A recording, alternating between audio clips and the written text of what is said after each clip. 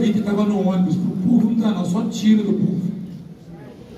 E traz muitos transtornos. E eu sou fã de futebol. É. E eu fiquei meio chateado. Só que eu fiquei invocado também. Eu abri a porta, abriu meu sobrinho, abre o vidro. Falei, eu vou representar contra vocês na corregedoria e no governo do Estado. É.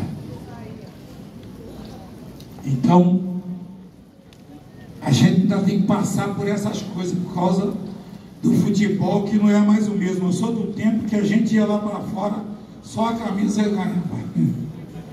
Hoje ninguém respeita mais, todo mundo bate na gente.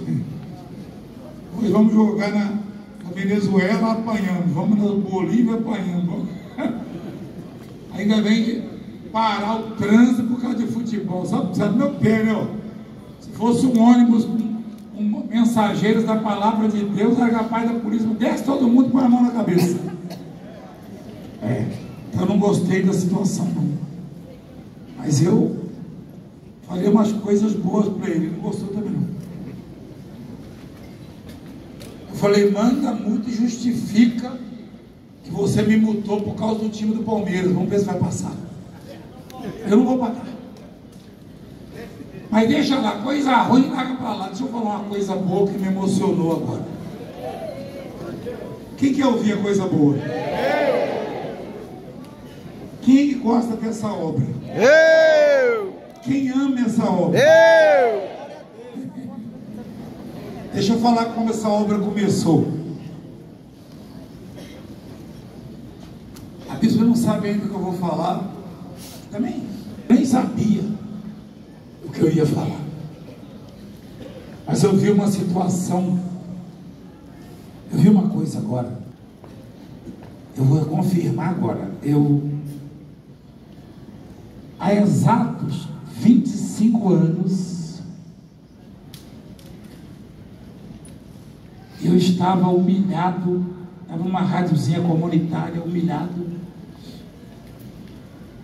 É, a rádio comunitária só pode ir até os 25 watts, né? E essa aí excedia um pouco, mas eu não era o dono. E me denunciava, a polícia levava meu MDs, meus MDs e CDs e tudo, os testemunhos, levava tudo. Aí eu comprava tudo de novo, fiado na Santa Efigênia, o seu Valdir lá na China Som. O Bruno era de bebê ainda de colo. O Bruno é o que cuida da loja agora. Gratidão eterna a você, seu Valdir, e ao seu filho, Bruno. É, eu comprava tudo de novo. Seis meses depois tomava de novo. Aí em Sorocaba, eu vim para São Paulo. E eu comecei a procurar uma rádio. Mas eu não tinha como pagar, tinha dinheiro.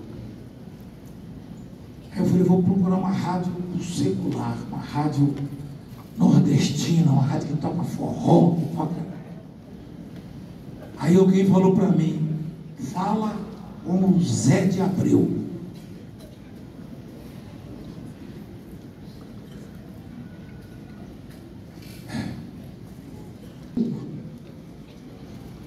Cadê os bispos do ministério? Cadê o bispo Jorge? Cadê? Você estava aqui agora perto dela, bispo Jorge. Me ajuda aí, ó.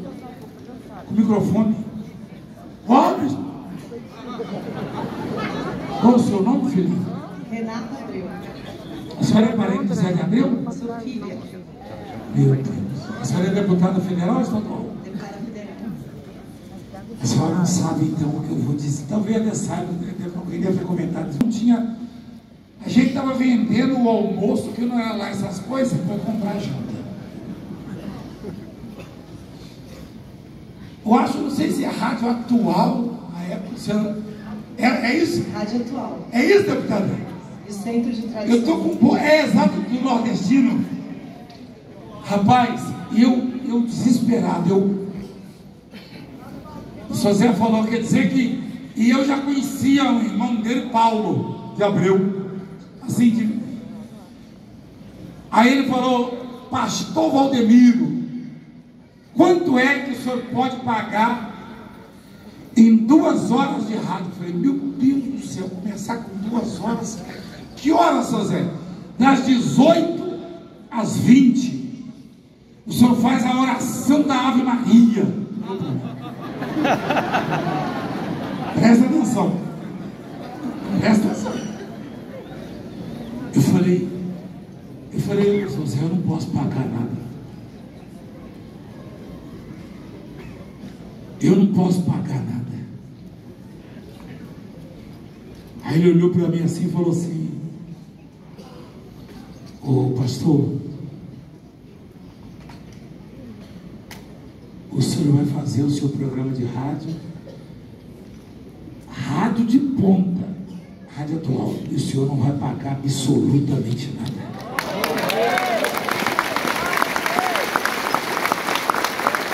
Só mais que você estava chegando, nós já nos conhecíamos há muitos anos, só que você estava. Você já conhece a família também?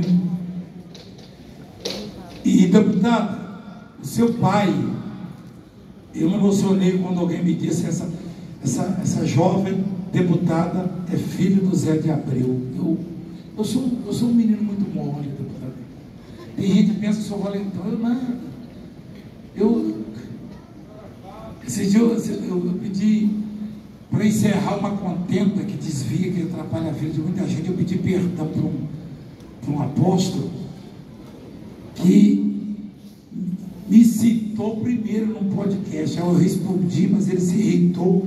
Eu pedi perdão e peço quantas vezes forem necessárias a quem eu achar que devo pedir. E eu não sou nada. Eu não vim para ser estorvo na obra, eu fui chamado para salvar vidas.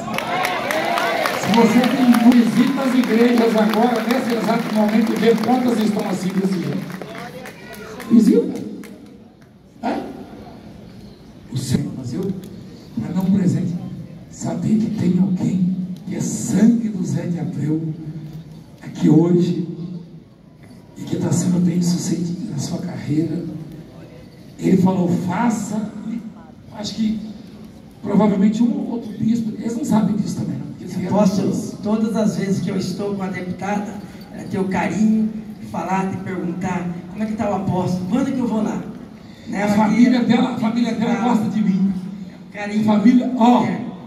E nós pegamos o horário das 18, das 18 até as 20. Tinha um horário aí, respeitava, tinha um horário da Vai do Brasil que chama, né? 7 horas, 19 ainda tem. Mas olha que coisa, é, deputado, que Deus te abençoe muito e a sua família. E assim começou, e a gente fazendo na rádio oficial, na rádio de ponta.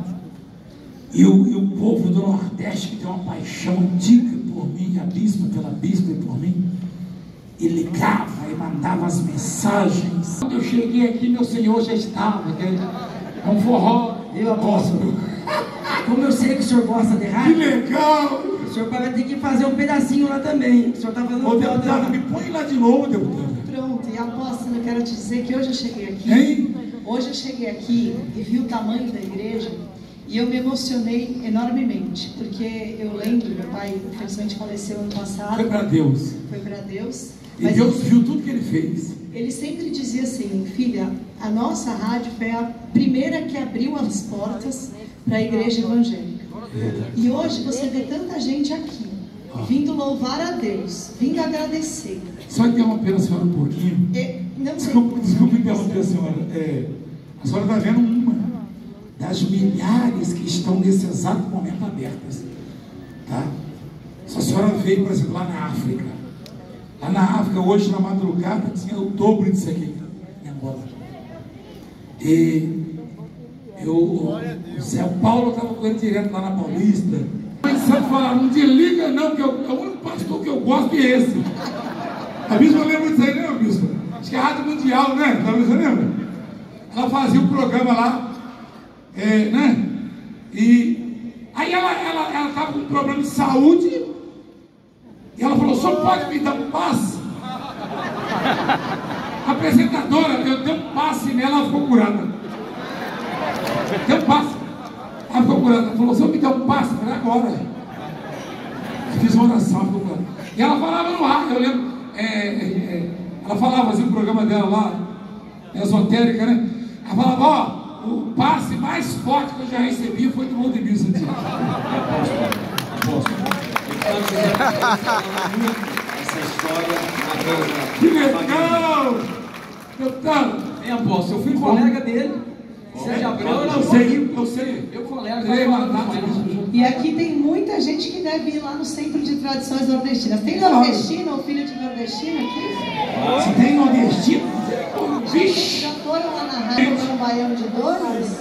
Ó, Vai tudo lá em casa. e a, né? e a, e a carne de sol, macaxeira. O senhor está convidado. É, viu? lá em Minas a gente fala é, mocotó. O nordestino fala. E é filho do Zé de Abreu. Eu falei, rapaz, 26 anos. 26. E eu e a bispa esse mês nós fizemos 20, é, 40, 39, 39, 39 anos de casada, fora 4 anos e meio de namoro.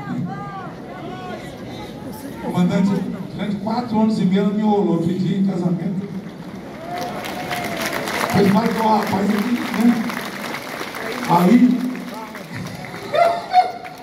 Qua- 39, eu errei esse dia, eu falei 49. Ele me perguntou, esse mês é o mês de aniversário do casamento. Eu falei, quantos anos? Eu falei, 40. Ele, O quê? Eu falei, não. 39, idade bem, não. 60. Deputada Renata Abreu. Quando eu escolhi esse nome Abreu, eu abençoo todo mundo que tem Abreu. Deus abençoa a gente. Amém. Isso eu falava senhora que eu, eu não tinha medo. Eu fui na outra rádio, tem um monte de borracha, borracha da chega. Depois acabou cobrindo, né? Foi na rádio musical, né? Lá no 7 de abril, eu não precisei da checa, sabe? Ele não que nessa vida a gente pode escolher deixar para os nossos filhos uma herança ou deixar uma história. O que eu vejo aqui hoje é que seu Zé de Abreu deixou uma história para mim. Deixa eu falar uma coisa para a senhora. A- a- os católicos ligavam para mim e falavam assim: O senhor acredita em Maria? Eu falava, claro que eu acredito em Maria. Eu sigo o conselho de Maria. Ah, é? Porque Maria, naquele milagre da multiplicação, os serventes ficaram olhando para ela quando Jesus deu a ordem, coloca água nas talhas, assim, assim. Aí, para, perdão, da transformação, né, da, transformação da água em vinho. Aí Maria falou assim, ó, fazei tudo que ele, Jesus, vos disser. disser. Olha o conselho de Maria, fazer tudo que Jesus mandou. Tem conselho melhor do que esse? Claro que eu acredito em Maria. Obrigado, deputado. Vamos em frente, let's go. Vamos lá? Deixa eu abrir uma palavra. Vocês estão... Eu vou abrir uma palavra. Lucas capítulo 10, versículo 38. Falar em, falou em Maria, vamos falar Senhor, te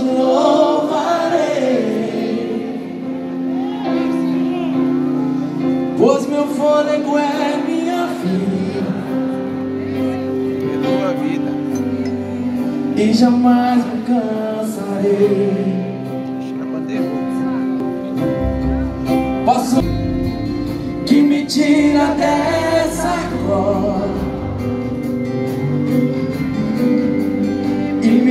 Leva até o céu. Já vi fogo e terremoto, vento forte que parou. Já vivi tantos perigos, todas ordens às estrelas, teu colo altíssimo.